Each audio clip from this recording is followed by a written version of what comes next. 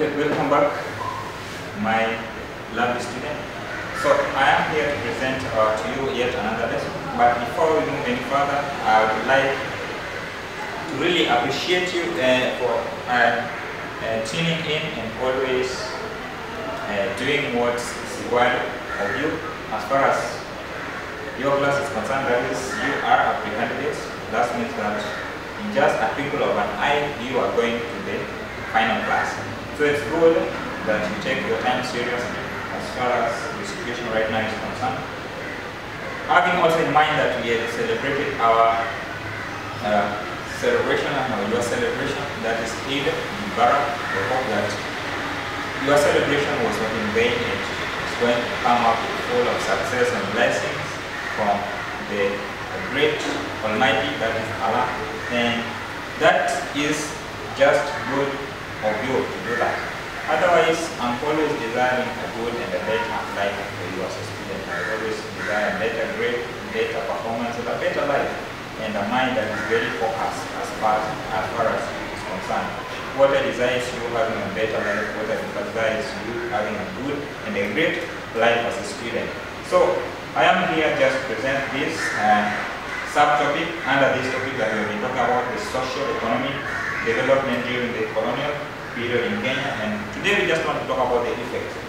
Last time we talked about the terms and how it was administered, that the, the one shot white paper, white paper, which was just a paper, a document that was sent to the colony, that is Kenya, to ensure that the fights or the conflict among the races were dissolved. The races, that is Indians, the whites, or the white settlers, and also the Kenyans were dissolved. This was just like a paper being sent to the colony, that is Kenya, to ensure that the races conflicts were stopped. But then this paper came up with different or several consequences and results and effects and impacts that we want to talk about today before we move to any other thing. I am Mr. Mboya as usual, so please welcome.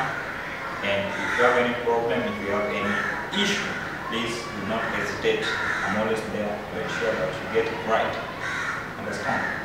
Thank you. And let's look at the lesson objective. So at the end of the lesson, the learner should be able to, one, state the implication of the whites paper on the Asian implication. Last time we talked about that implication on the whites and the blacks, that's African or Kenyan. There, there I just want to talk about that implication. What was it saying on the side of Asian? That's the Indians who came in Kenya due to uh, the construction of railway. Then after that, for the second one, you are going to be able to state the impact of the quantum white there, impact as a whole. What was the outcome of it being brought into the country? Then after that, you're going to be able to explain factors that led what? The establishment of urban centers. When you talk about Nairobi, there is how it came to be. When you talk about Machakos, when you talk about Mombasa, there is how it came to be. When you talk about these other countries, Mumias, talk about these other countries that we have, there are how or there are some factors that were in place as far as the economic development or social, uh, social and economic development during colonial in Kenya. So let's uh, move or let's uh, proceed without any uh, wasted of time. So let's look at the implication of the departure paper on the issue. What was it contained? What was it implying? So they wanted quality of all races instead, instead of self-dominance. At first, Indians or Asian, they wanted quality. They did not want white or the British be the only people who were being considered at then. So, how did the paper answer their grievance by then? So, especially pertaining what? Settlement what? The white China. That is one of that was one of the one of the complaint that was one of the grievance of the Asian based on the ratio between them and the whites in Kenya. The next, they opposed policies. The Asian opposed policies. One, residential segregation. That is discrimination based on race and also restriction on their migration. So Asian also they were restricted from what? Increasing number, bringing other what? Other people, bringing other other Indians or bring other Asian in the colonial what? Kenya. So that was something that was making them also to be all them anger. They were big back. So the government was inviting more settlers to check Indians' migration in. That's why the colonial government bring in some of the whites, or most, many of the whites encounter their number because they were afraid that Indians may have two with their number. They may, they, may, they might lose their colony that is that they colonized. So that was also one of the reasons why they what? The British colonialists uh, welcomed what? Welcomed white settlers from the Britain to into country, Kenya. So they also wanted direct what?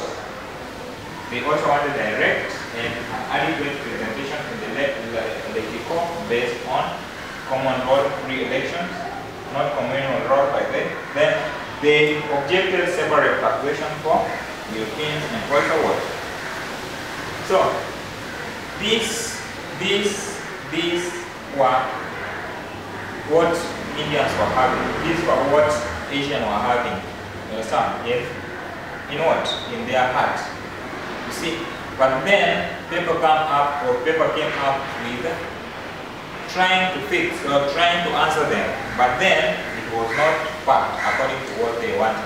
And if you look at the notes, that the Devonshire white paper was therefore viewed as a product of struggle between Asian and the European. You see, because European were saying that the Indians or the, the Indians were saying that Europeans were given more more uh, opportunities than them. You see, so they had more grievances. So the, the paper made the Asian to join the African comrade in the struggle for freedom. So the eighth paper was brought and we have talked about the terms of the paper. So what we have talked about, all those we have talked about the side of the Asian, all of these were still their problems. So that means that the paper was not up to their standard. The implication of the paper was they interpreted in a different way. So that's why they were still having this problem within them. You understand? So that is all about it. Then the paper made the Asian to join Africans comrades. So because Africans were not addressed more, Africans were not given much of uh, equal opportunity as same as white. So Indians joined the Africans to fight for the equal right and freedom. So especially the trade union, there was a trade union movement that is based or that was that was an, an organization of traders forming a union to fight for their rights. So the settler dominated Kenya affair continued up to 1960. That is when uh, Kenya was becoming independent.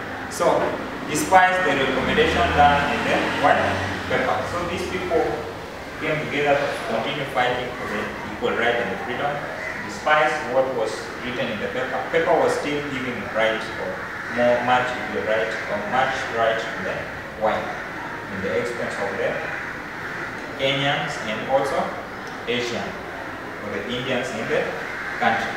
So that is all about the implication on the white, on the Asian, sorry. So let's look at the results. What is very important in the exams? What are the results? What were the effects of the white settler, uh, the, the Devonshire white paper on the colony as a whole? One, the white paper uh, saved what? Kenya from becoming another Rhodesian or, uh, or South Africa.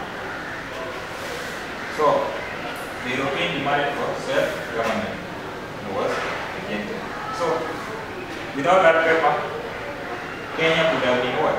Another Rhodesian. You, know, you understand these places or these colonies in Kenya that were colonies in Africa that were taken by the British, they were being named and being grouped as one in the Africa. And when you look at the southern part of Africa, you have northern Rhodesia, that is Zimbabwe, and uh, southern Rhodesia, that is, uh, uh, and etc. Then also, even South Africa. So this paper avoided such kind of instances or cases happen in Kenya. So the European demanded for self-government laws was what? Rejected.